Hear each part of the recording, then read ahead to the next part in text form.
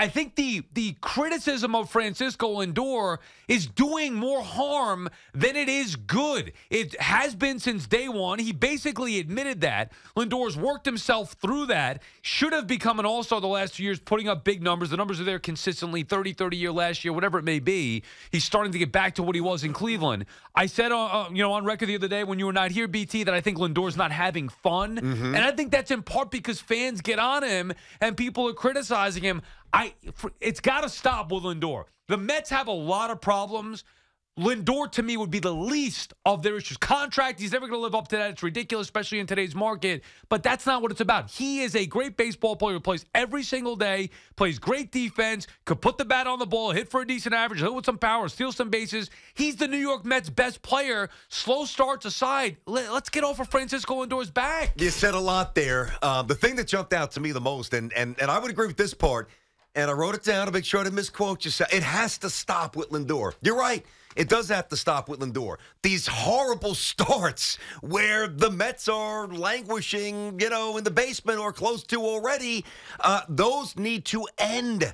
And it's the same stuff with Lindor every year. Listen, I, I also do agree with some of the other stuff, too. He is a good ball player. This is not about you know, just taking a target and just firing away recklessly or being unfair.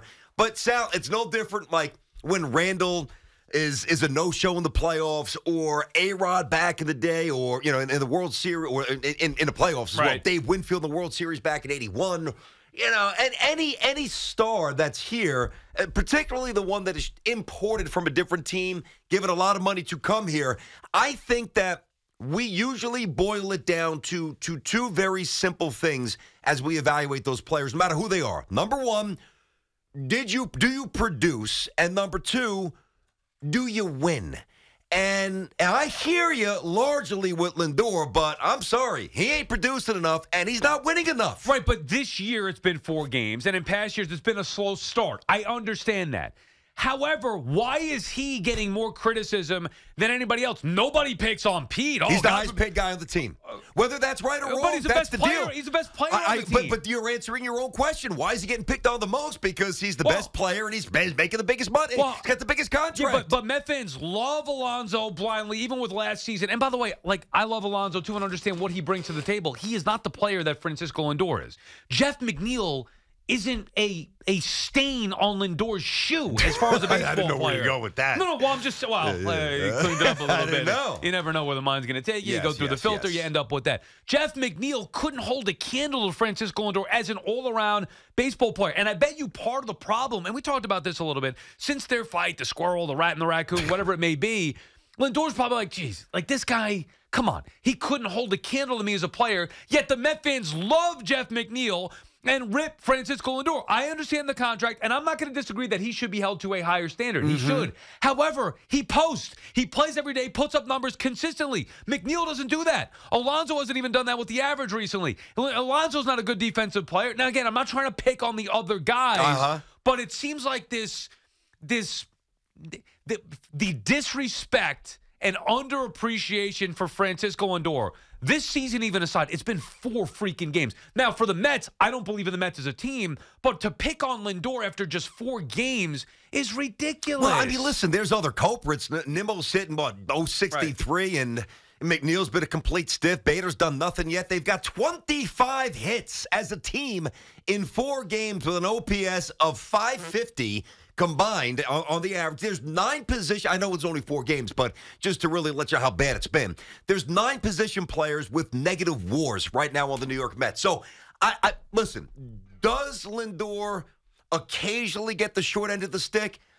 You know, as, as I say it out loud, my, my answer is still no. Tough. Get over it, Lindor. If Lindor's too sensitive, Lindor's not happy, then Lindor can ask for a trade. Big, or he can start producing like, you know, his contract says he's supposed to.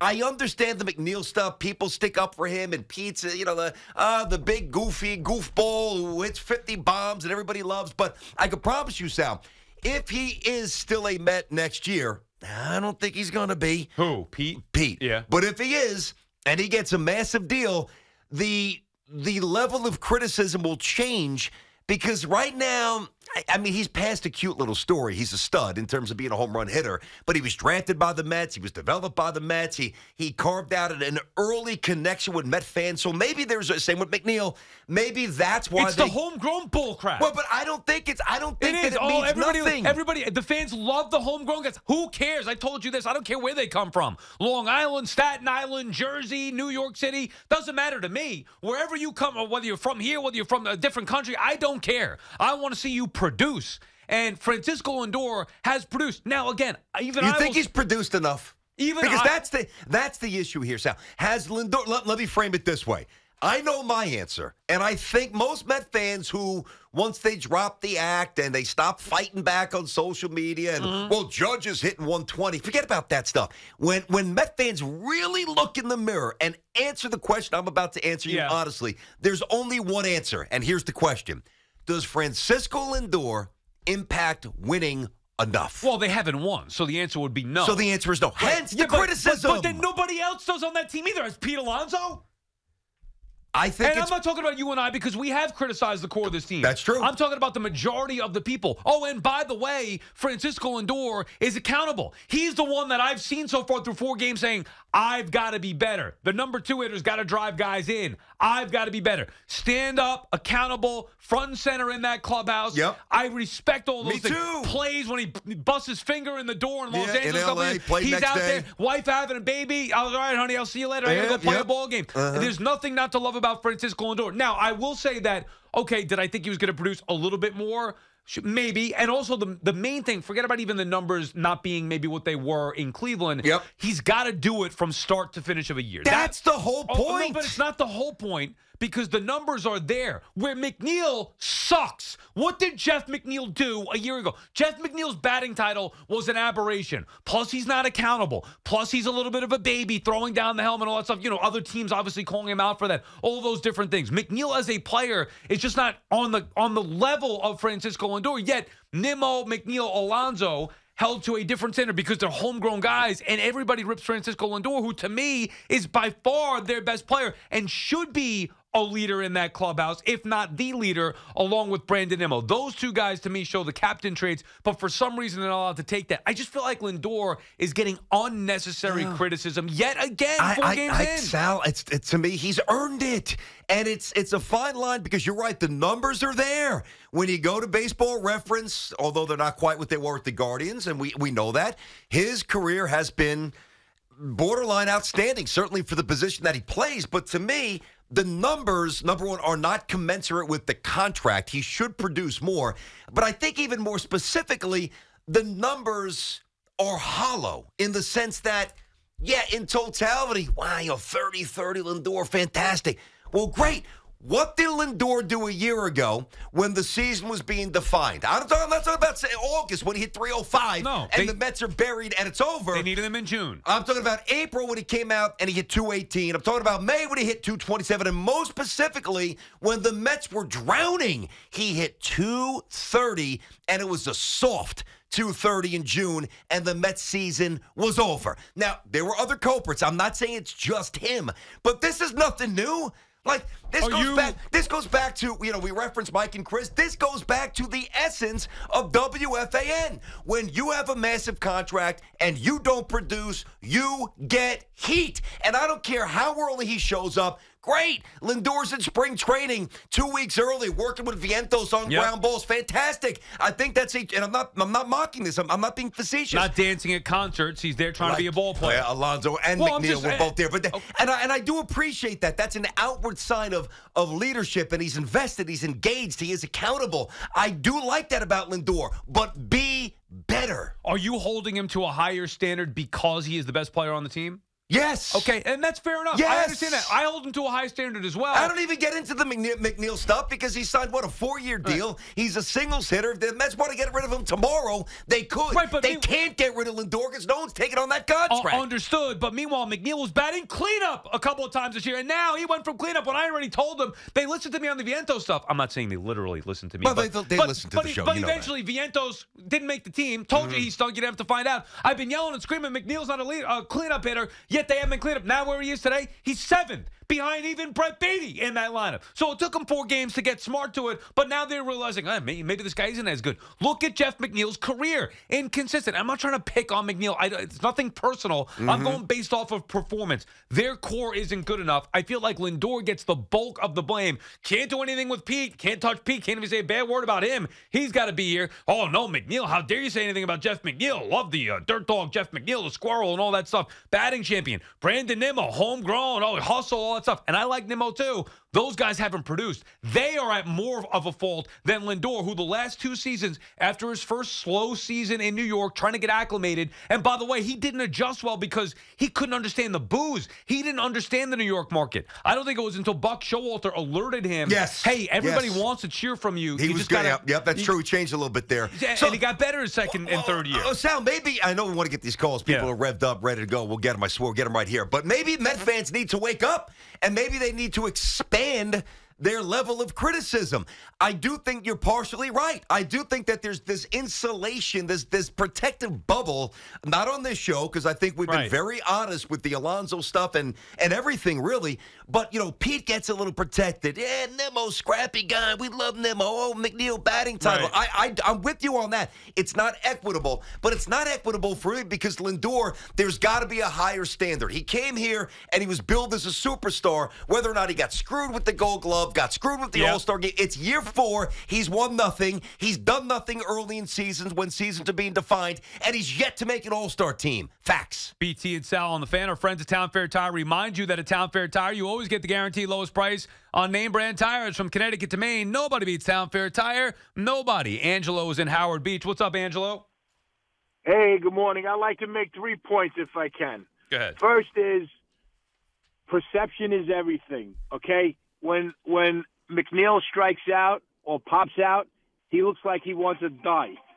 Okay, when when um Who's that? The Guma phone? Yeah, what's going on over there? What do you got? A, a burner phone? name? Well, I'm working. When Okay. uh when Doyle strikes out, he smiles. I know it's just his his perception, but that's what you see. So it looks like one cares and one don't. The other point I'd like to make is you keep All right, dude. saying that O'Neill sucks. 275 McNeil. Well, I didn't- great these days.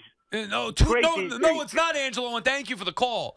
Look, eh, McNeil, in comparison, doesn't live up to Francisco Lindor as a player.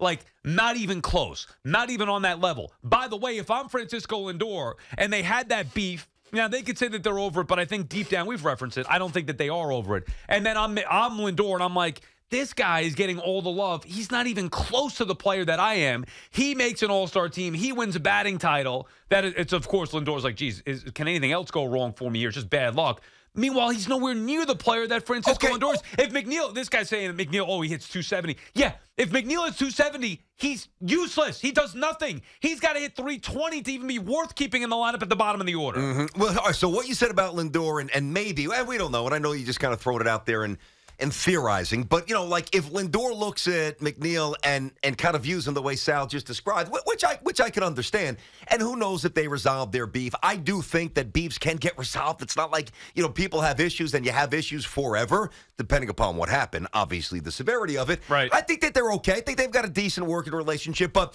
while McNeil could look at, uh, while Lindor could look at McNeil, McNeil could look at Lindor and say to himself, "Eh, "Dude, you're making thirty-four million dollars a year. How about you hit more than one ninety in bet April?" You, I bet you he does. Okay, well then he's not wrong. No, well, he's not wrong, but he's looking at, at the wrong thing. He should be looking in the mirror. Lindor's looking. Lindor's not looking at McNeil. Lindor knows he's better than Jeff McNeil. He's wondering why he is being scrutinized to the level he is by fans and media when he is producing, and yet everybody else, it's like, oh, we Because love he's this the guy. perceived best player. Is a difference, you know. Oh, it's the homegrown thing. I think Patrick that's the problem. versus I think it's the homegrown thing, BT, more Charles so than Smith. that. Uh, well, Charles Smith not a good champ with the layups. Fans love the homegrown guys. Yeah, you're, you're I- right I'm the gonna give you contract. that. Like I think the contract combined with the homegrown guys. Hey. but look at Lindor's season. Like the numbers are there. But the, but that is, I know they are.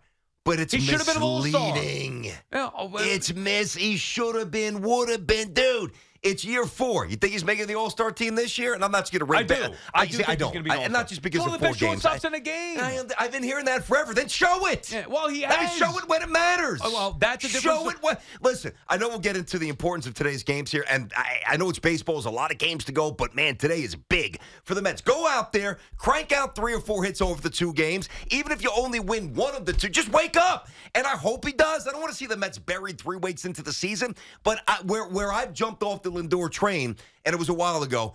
The there's a hollow element to his numbers. I'm sorry, when the season's being defined, he's he's kind of small. Couldn't you say the same thing about Pete Alonso then? Yeah, you you you you could. That's why I don't think the Mets are very good. Right. Uh, I, I'm just saying. It, He could, Lindor gets a lot could. more criticism than the other three. but don't you think? And I'm not disagreeing with and he's that. the best of the three. And I'm not like disagreeing had with that to- either. if I had to pick to keep one, and I don't know what the Mets are going to do eventually with it. If I had a pick to keep one of the four, Yep. Nimmo, Lindor, McNeil, Alonso, I'm keeping Lindor. I probably would too because you can move him over to second base when when he gets a little bit too old and maybe lo- loses some bounce at shortstop. He's a switcher. He could he could run. But I'm not listen. I I, I don't want to get too bogged down by the money. Uh, because my answer to that would be I would probably pick somebody else only because it opens up the Mets to do a lot more. Right. If you were get if you were to get rid of Lindor, which I know that they won't, so I don't want to really entertain that too much. But I think that there's always going to be a correlation and a connection. How much do you make? And that's the level of criticism, right or wrong. That's not a new rule in New York City. That's what we do forever. John is on Staten Island. What's up, John? Hi, hi guys. Long time listener, first time caller, Ah. diehard Mets fan. All right, Uh, John. I I totally agree with you, Sal. Uh, uh, Lindor is the best player in the Mets. You could bet that guy first, second, third, fourth. He's a manager's dream. Yeah, he started off slow. All right, but let's compare him. Who's the best player on the Yankees? No, And no, the no, no, no, Stop, no, no, no, stop. no, Don't no, wanna no, hear no, it. Don't Don't make care. it about Stop. the No, Yankees. I Stop. what did he do the first six games? No, He no, no, get but it's not. It's not. Game seven. John, don't John, you had me come until the Yankees. John. Thank you for the call. We're not trying to bring the Yankees into this. We'll get to the Yankees. You don't think I got some tweets yesterday? Because the, the video was pretty hot that, that that was put out with, with me and the Lindor stuff when I was yelling about it yesterday. And I saw this a ton. I, I, I was I actually leaned into it a little bit. I didn't respond. I did look at some of the comments. They're like, well, what's Judge doing? The Oh, point, God. that, uh, which I think is ridiculous. And by the way, he had a home run and a double yesterday. So how's he doing? He's getting he's going back to being Aaron Judge is how he's doing. Yeah, six and one. How are they doing? I mean, that, and that's the point. Like, if the Mets were winning right now, if they were three and one or even two and two, we're not having this conversation. But not the after Mets, four games. not after four. But but Lindor, he does need to get off to a good start. He, yeah, and so far he's off to a horrendous start. He's got company: Nimmo, McNeil, Mm-hmm. Bader. Outside of Marte, Baty a little bit, Alvarez. Nobody else really doing anything. Uh, but the point is, is that the Mets' margin for error is razor thin. They are not. If they start, I, I want to be somewhat fair. If they start the season. Seven and sixteen. Mm. Which, I don't know if that. I, I don't think that that's outlandish to think that that could happen. I don't even know if that's dead. realistic. They they are buried. It's over. They're done. They're not good enough to bounce back from that. So your best player, and we all agree it's Lindor. Make sure you don't start seven and sixteen by I don't know hitting in April. BT and Sal on the fan. More your calls on the other side. We'll get into the Yankees a little bit later on. We're talking Mets. We'll have Sergeant Slaughter coming up in studio next hour as well. We're, I'm gonna have to put, have him put you in the camel, clu- uh, the uh, Cobra clutch. Yeah, yeah. the way you're talking about my guy Lindor, we'll do Mets. Mets obviously have a double dip starting at what 12:10, I think, first pitch. So we'll be taking Mets calls up until then. 877-337-6666. BT and Sal on the fan.